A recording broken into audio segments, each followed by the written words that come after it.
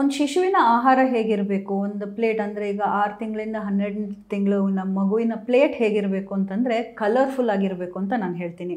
ಯಾಕೆಂತಂದರೆ ಅದಕ್ಕೆ ಬೇಕಾಗುವ, ಅದರ ಬೆಳವಣಿಗೆಗೆ ಬೇಕಾಗಿರುವ ಎಲ್ಲ ಪೌಷ್ಟಿಕಾಂಶಗಳು ಕಲರ್ಫುಲ್ ಪ್ಲೇಟಲ್ಲಿ ಸಿಗೋಕ್ಕೆ ಸಾಧ್ಯ ಇದೆ.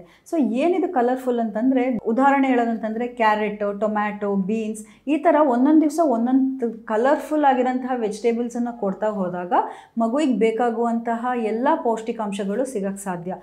ಜೊತೆಗೆ ಒಂದು ಘನ ಆಹಾರ, ಅಂದರೆ ಈಗ ರಾಗಿ ಇರ್ಬೋದು, ಅಕ್ಕಿ ಅಥವಾ ಗೋಧಿ ಅಥವಾ ಯಾವುದೇ ನವಣೆಗಳು ಇರ್ಬೋದು, ಅವುಗಳ ಒಂದು ಪೋರ್ಷನ್ ಇರಬೇಕು. ಜೊತೆಗೆ ಒಂದು ಪ್ರೋಟೀನ್ ಸೋರ್ಸ್ ಯಾವುದೇ ಬೇಳೆಗಳಿರ್ಬೋದು, ಕಾಳುಗಳಿರ್ಬೋದು, ಅಥವಾ ಮೊಟ್ಟೆ ಅಥವಾ ಮಾಂಸಾಹಾರ ಇರ್ಬೋದು, ಇದು ಇರಬೇಕು. ಸೊ ಒಂದು ಮಗುವಿನ ಪ್ಲೇಟಲ್ಲಿ ಮೂರು ಅಂಶಗಳು ಇದ್ದೇ ಇರಬೇಕು. ಒಂದು ಕಾರ್ಬೋಹೈಡ್ರೇಟ್ಸ್ ಒಂದು ಪ್ರೋಟೀನ್ಸ್ ಆ್ಯಂಡ್ ತರಕಾರಿಗಳು. ಜೊತೆಗೆ ದಿನಕ್ಕೆ ಒಂದು ಯಾವುದಾದ್ರೂ ವೆರೈಟಿ ಆಫ್ ಹಣ್ಣುಗಳನ್ನು, ಅವುಗಳನ್ನು ಮಗುವಿಗೆ ತಿನ್ನಿಸ್ತಾ ಇರಿ.